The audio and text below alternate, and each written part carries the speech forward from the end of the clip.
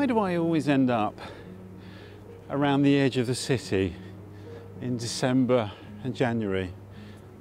I associate this area with being freezing cold and it being a kind of gloomy, cloudy day like today, which is the perfect weather for the walk I've got for you today.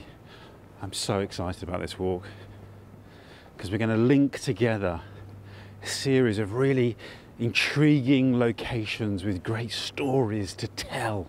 This is really the best type of walk in many ways. Obviously, I say that, don't know, like I love my river walks. I love all walks really, but there's something about unlocking the secrets of the city, which is just magical.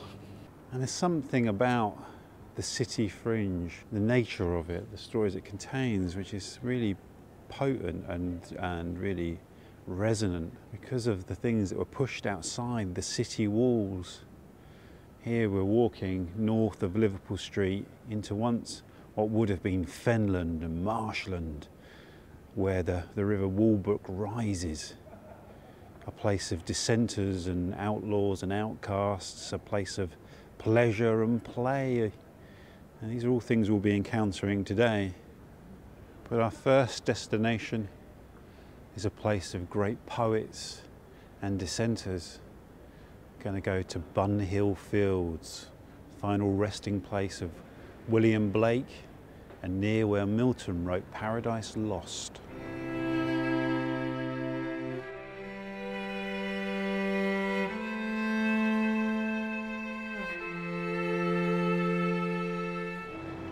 So here is Finsbury Barracks, home of the uh, Honourable Artillery Company and the Royal London Militia as well.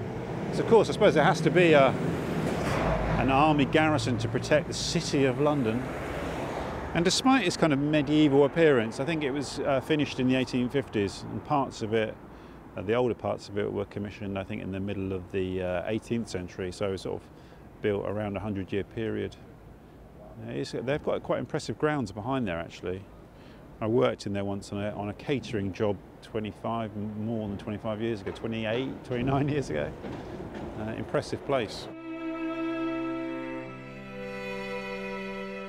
And this street, Moorgate here, literally was the city gate that led out to the fenland, very marshy, boggy area. And the edge of the known city beyond that was just the, was the wilds and then the hills up to Islington. What's interesting is that the original stone gatehouse was taken down in the 18th century and the stones were used to reinforce London Bridge, which they thought was about to be swept away by the tides of the Thames. And just next to Finsbury Barracks, we have a, one of the most storied places in London, Bunhill Fields Cemetery. The name Bunhill in Bunhill Fields is said to derive from Bone Hill, Bone Hill Fields, when bones from the, the churchyard at St Paul's were moved here in the 16th century. It actually existed as one of the principal fields in the old manor of Finsbury, and it's believed that there were burials here dating back a thousand years, that it's an ancient burial site. It's something special. It's known as being one of the sort of resonant locations in London. Iain Sinclair calls it a nodule of energy. And it's the information they have here, they claim that it's one of the most celebrated burial places in the whole country because of the amount of religious nonconformists that are buried here. Defoe, Blake, John Wesley, the founder of the Methodist Church, and the Methodist mission that Wesley founded on City Road is nearby. You've got Quaker Gardens nearby as well. So for religious nonconformists of all sort of colours and hues, this is a really important location.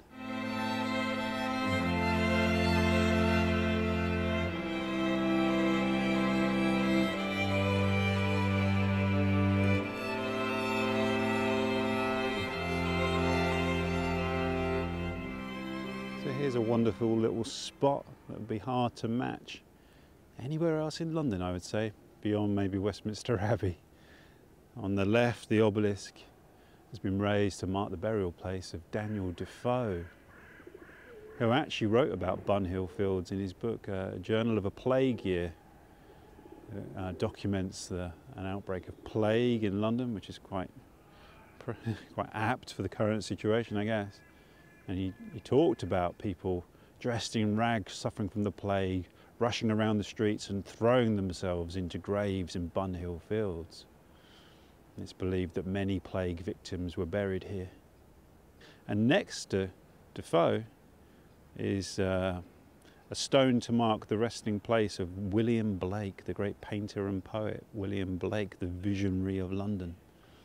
I'm not sure if his uh, bones are actually buried right here, but it's uh, marking the site nearby where Blake is said to rest. And Blake is buried here with his wife Catherine. There's usually flowers and other things that people have, have left, because Blake is a revered figure, particularly in London. But there are other sites associated with Blake around the city that people tend to gravitate to. He's buried in 1827.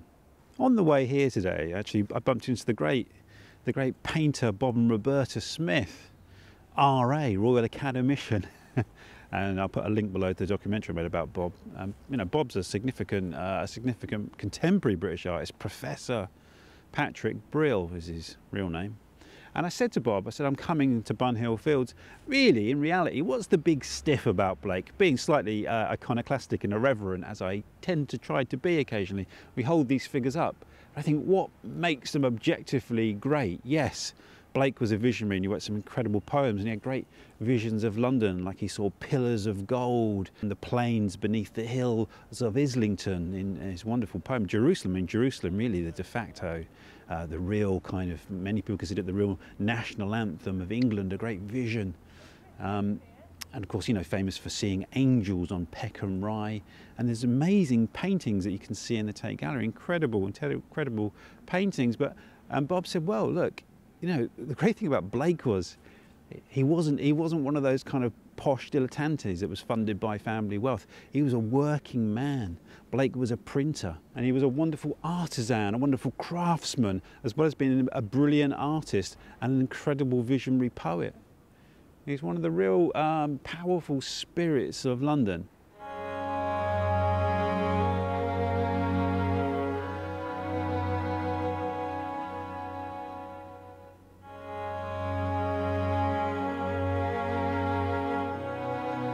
And here's the tomb of John Bunyan, author of The Pilgrim's Progress. He was buried here in 1688 at the age of 60 years old.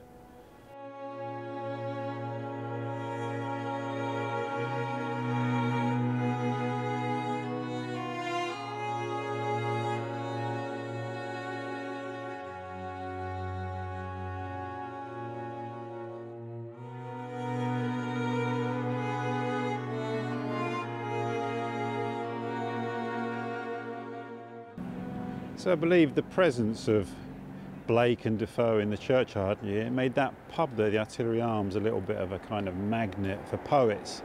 I think there may have been poetry events there in the past and, and book launches and all sorts. I think Iain Sinclair's done some stuff in there back, back in the day when he was, uh, had a small press publishing poetry. So we come out onto Bunhill Row. So it's in this street here that Milton lived from, I'll put the dates on the screen, it's something like 1660 something to 1674. But it's here, whilst living here, that he wrote Paradise Lost. And he also wrote um, Paradise Regained and one other book as well. So there must have been some something special about this area that inspired such incredible works of poetry.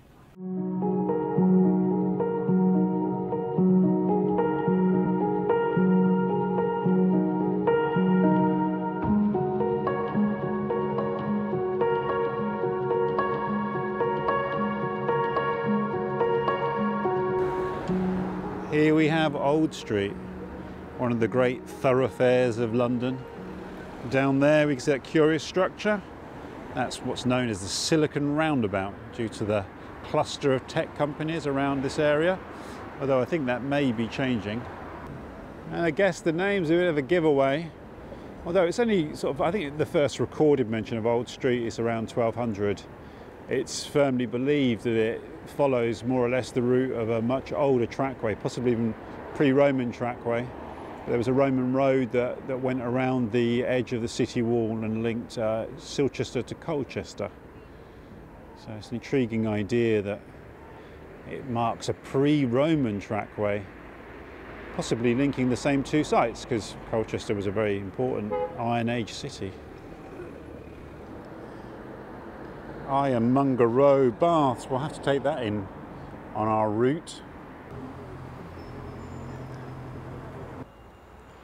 And here we have one of the most resonant locations in the area, St Luke's Church, Old Street.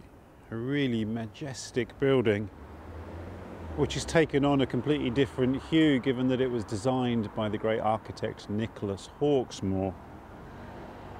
And people such as Iain Sinclair have claimed that Hawksmoor dabbled in esoteric beliefs. Some people have even connected him to the occult and claimed that his churches form a kind of pentagram if you draw lines between them and perhaps are placed along ley lines or lines of energy that run beneath the surface of the city. Iain mentions uh, Hawksmoor in, a, in, a, in Lud Heat, in his great poetic work Lud Heat, and then Peter Ackroyd took that idea even further and wrote a novel called Hawksmoor, Hawksmoor worked closely with Christopher Wren. He worked on St Paul's Cathedral. He also worked on um, Blenheim Palace and worked on a number of uh, Wren's city churches. Really did leave a, a very strong mark on the city. Now St Luke's is home to the London Symphony Orchestra. It stopped being a church, I think, in the 1950s. So the proximity of St Luke's the burial place of William Blake has made this a real, really important kind of triangle for psychogeographers, for British psychogeographers. They love this bit around here. You might be saying, hang on a moment, aren't you a psychogeographer? Of course I am. Um, but I feel like that's, that's somebody else's riff. That's the brilliant, amazing Iain Sinclair. He gave us the great gift of this mythology of London, linking these sites together, what he calls nodules of energy. And I was really fortunate a few years ago, a few years ago, I think it was 2004, and I came to a, a talk that um, Iain Sinclair did in St Luke's Church with Will Self. And that's where I heard Iain talking about Blake's burial place linked to the church and a number of other sites in the area to, to create this really, what he saw as a very powerful source of stories, if nothing else, right? A generator of myths of the city. And we need these stories. You might be thinking ley lines, esoteric secrets buried in architecture. What a load of woo. Maybe, but it's good stories, aren't they? They make your walk around the city a bit more interesting when you engage with it on that level, when you imagine these things. And allow your mind to, to run riot. Why not? Just over the road from St Luke's, you have Whitecross Street Market, which is uh, home to a fantastic food market. It's really buzzing during the war. I say that I haven't been to the market since the since the pandemic began, but certainly before that, lunchtimes during the week, a great place to go and get street food. I think the world champion barista has a stall there, I believe, or certainly a guy who's won it a few times. It's a really wonderful place. Today's a Saturday afternoon, so it's very quiet at the moment. And just behind St Luke's Church, you have the majestic Ironmonger Row Baths, which is a really wonderful public baths. It did open in 1931 as a public bathhouse. We could go for, literally go for there for a bath. And then they, upgraded it to be a, a Turkish bath. I think there still are Turkish baths there, I believe. We used to use that pool uh, when we lived at the Angels, where they used to do baby swim lessons for. You know, where my eldest son learnt to swim in there when he was a wee baby. It's a really beautiful institution. Because of course, this was a, this was and still is a very working class area. So a lot of people didn't have baths in their houses. You'd have to come to a public bath like this one. What's interesting about the location of Ironmonger Row Baths as a public bathhouse is that historically there were other public baths in this area, places for public bathing. And we're going to go to one of the sites of those now. That's, his history is recorded in a street name where you might not necessarily know what it related to. And we're going to see that just up here. So here we have quite a sort of nondescript looking street. There's not really a lot here, is there? This is Peerless Street, which takes its name from an old pond that was here. It was originally known as Perilous Pond due to the fact that people would go swimming in there and dive in the waters and drown. I think it was a very deep pond. There was also a spring here that supplied drinking water to the people of the city where it was fed along wooden pipes. And then they, they rebranded it in a way as a place for, for duck hunting. So it was in the early 17th century that it became um, used for duck hunting, and it was the quote says, "Let your boy lead his water spaniel along, and we'll show you the bravest sport at Parlous Pool." So at that point, it was still Parlous Pool. It wasn't until they, um, you know, sort of started to advertise it as a sort of resort that it became Peerless, which I love. That this is from um, Streams, Springs, and Spas of London by uh, Alfred Foord. And it was around that time that when it was reopened as a, as a place for bathing, a bathing pool, an open air cold bath was, was constructed here. That it was then called Peerless Pool. And it was advertised as that, as Peerless Pool because it has no piers. The water is so clean and fresh. What I love is uh, in 1790 describing it, where when it became a covered bath, a real place to come for the a day out at the, uh, the cold water baths.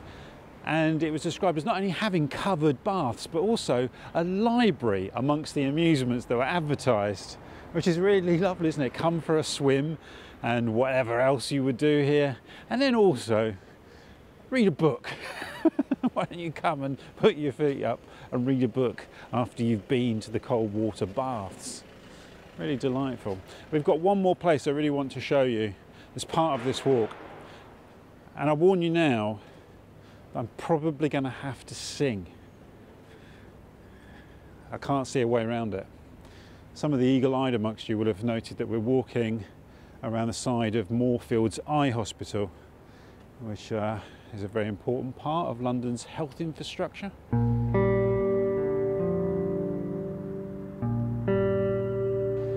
So this pub here, the Old Fountain, which I think we're still in Peerless Street. I wonder if that has any association with the baths and the, and the spring that was here. Could well do, couldn't it?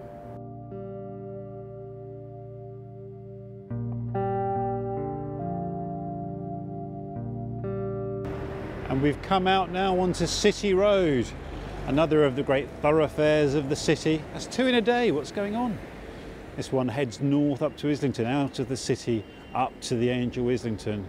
I don't know exactly how old the City Road is, but it's certainly of a certain vintage. It's, eh, a lot of the, the buildings along here date from the 18th century, and I would imagine it's much older than that even still. And a great road, a road of stories, a road of secrets.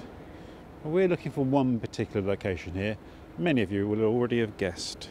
By the way, if you've not been along City Road for a few years, it's changed quite a lot, as you'll have seen from some of this footage. There's a number of massive buildings that go pretty much quite along the way up City Road as far as the, uh, the City Road basin on the canal. Some great big enormous buildings. From that point on it's a bit more familiar but you'll get a bit of a shock the first time you come up here if you've not been here for like, I don't know, about 10 years maybe.